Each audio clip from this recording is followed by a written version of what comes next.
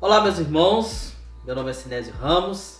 Estou aqui com Edgar de Souza. e nós estamos aqui mais uma vez para falar sobre os mitos do casamento. Se você assistiu o nosso último vídeo, se você não assistiu, clica aqui que ele vai estar aqui para você ver o que nós falamos. E nós queremos dar continuidade. Vamos, vamos lá. É. Vamos lá. Tem uma, uma frase que as pessoas falam assim: lugar de mulher é na cozinha. Ah, Gente, não briga comigo. Mulheres não brigam comigo. lugar de mulher é na cozinha. Não, não, lugar de mulher não é na cozinha. Lugar de mulher é onde ela quiser ficar. exatamente. A casa, É. a casa é dela. Não é verdade? A casa é dela, exatamente. A casa é dela. É, por que, que a maioria das mulheres elas cuidam da cozinha e tudo? Porque tem mais afinidade com isso. É. E se você quer ter um casamento feliz, meu, vai você também pra cozinha. Não é verdade? Meu amor, você faz a comida e eu lavo a louça. É, Ou eu faço a comida e nós dois juntos lavamos a louça. é verdade. Aí sim você. Então, lugar de mulher é onde ela quiser. Exato. né? Então não tem esse negócio de machismo, não é nada disso não. Nós, tanto o homem quanto a mulher, tem os mesmos direitos e os mesmos deveres. Deveres, Os papéis que são diferentes. É. né? Diante de Deus, o homem tem um tipo de papel e a mulher tem outro tipo de papel. Isso é muito claro na Não- Bíblia. Não é nem um pouquinho vergonhoso pra você lavar a dixa. Ah, com certeza. Fazer a, fazer a louça, né? Não te deixa mais feminino ou mais Não, masculino, nada disso. É simplesmente mostra que você tá preocupado com a sua esposa. É Te isso. deixa você o melhor esposo. Sim. O melhor né? esposo. Não é verdade? É. Outra coisa, agora nós vamos falar sobre um mito que muitas pessoas falam assim. Eu já ouvi pessoas falando isso. Depois de casado, eu resolvo esses problemas. Então, primeiro problema: financeiros. O camarada, ele não consegue na vida de solteiro dele ter uma vida financeira controlada. Você acha que vai resolver depois Não. de casado? Não, não resolve. Não resolve. Não resolve. Aprenda a ser disciplinado antes, antes de casar. E tem uma coisa, dinheiro não aceita desaforo. Lógico, lógico que não. Lógico, Dinheiro, se você desaforar o dinheiro, lógico que não. Ele É por isso, que tem o, por isso tem o namoro e o noivado, né, cara? Resolva, resolva entre o namoro e o noivado, que o casamento vai ser apenas uma continuidade do seu, do seu namoro. Entendeu? Eu vi um relato de uma mulher falando é, que ela casou, ela sabia que o marido ele vivia pendurado no pai, vivia pendurado na mãe, questão financeira, tava com o nome negativado. Ixi, Depois que casou, ele casou com nela.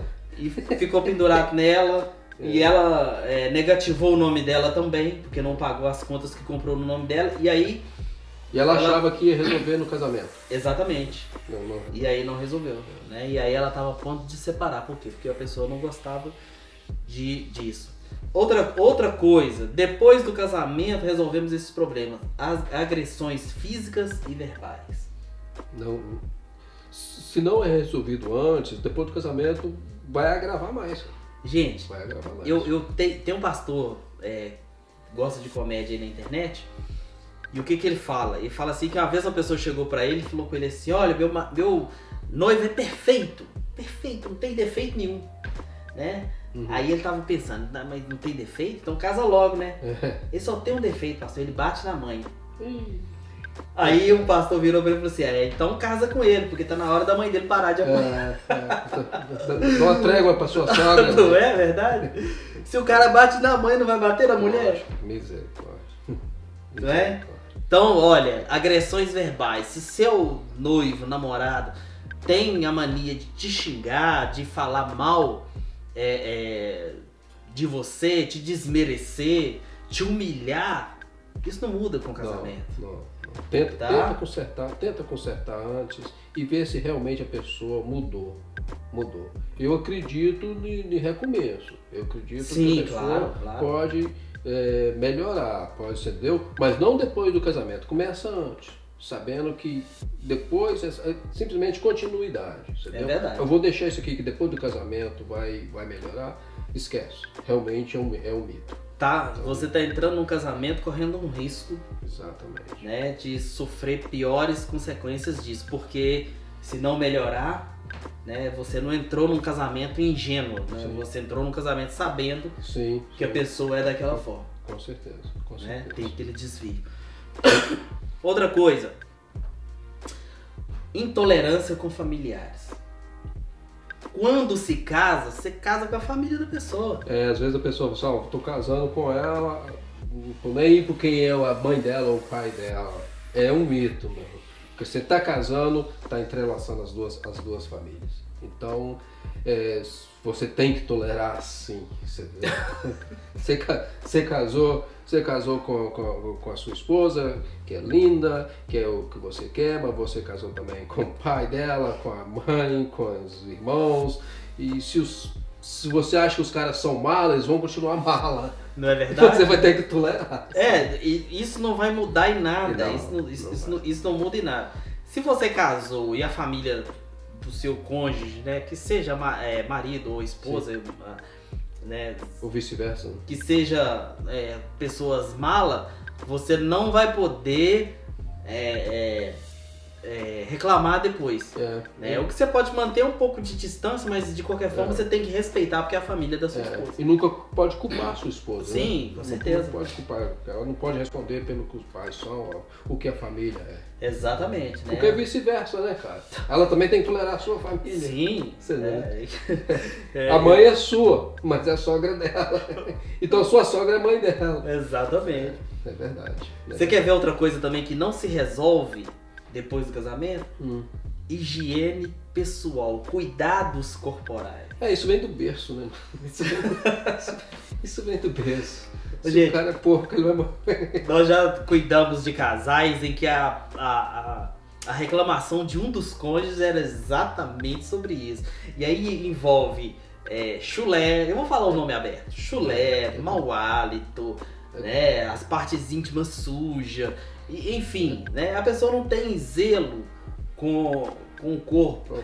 E assim, como antes de casado, por exemplo, você pega a pessoa talvez suja, não, não, tô falando de uma situação de trabalhar, mas Sim. tô falando de uma situação de em que você encontra com a pessoa, dia a dia, né? a pessoa já tá ali com, com, com, né, com aquele problema do, nas axilas, que é o CC, o, famoso CC, Subaqueira. e não tá. Eu não queria falar isso. Já falei, já falei. Então, assim, a pessoa tá ali com a subaque. a pessoa tá ali com aquele problema nas axilas e às vezes não se importa, o mau hálito mesmo, e às vezes não se importa. Então, isso não se resolve depois do casamento. Então, você precisa resolver essas coisas antes de casar e não depois. E nada melhor do que um bom diálogo, né, cara? Sim. Tem um bom diálogo entre os dois. É, porque olha, observe bem, gente. Nosso corpo, se a gente não cuidar, vai feder. Sim, sim. Vai feder. Sim, Às vezes minha esposa vira pra mim e fala comigo assim, meu bem, você tá com mau hálito, sim. né? Mas eh, não é porque eu tô querendo estar, não. Às vezes eu tô um tempo sem comer, É. às vezes eu tô um... um, Um pouco com febre. É, tem algum tipo de é problema. normal. É, vai ser normal. Então o que, que eu preciso fazer? Eu preciso me controlar, É, é, me cuidar, se enfim, policiar. né? É. Se policiar nesse sentido. Sabendo que você também, o seu corpo é templo do Espírito Santo, então você tem que cuidar bem dele, né? Não é?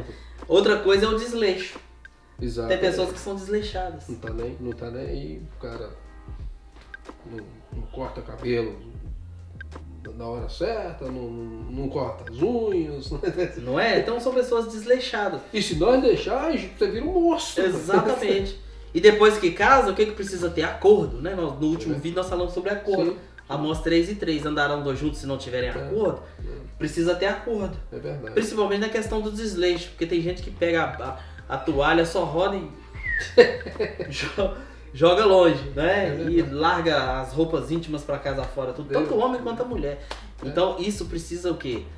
Ter cuidado. É, Né? A cer- gente com precisa certeza. tomar cuidado e ter cuidado com esse tipo de coisa. Depois do casamento, isso é complicado depois pra mudar. Então você Verdade. precisa entrar no casamento sabendo que é, é, essas, essas, esses detalhes podem te trazer problemas pra dentro do casamento depois. É verdade. Dentro da casa, Sim. as coisas elas se revelam mais. né? Sim, é verdade. É verdade? Com certeza. Gostei do papo.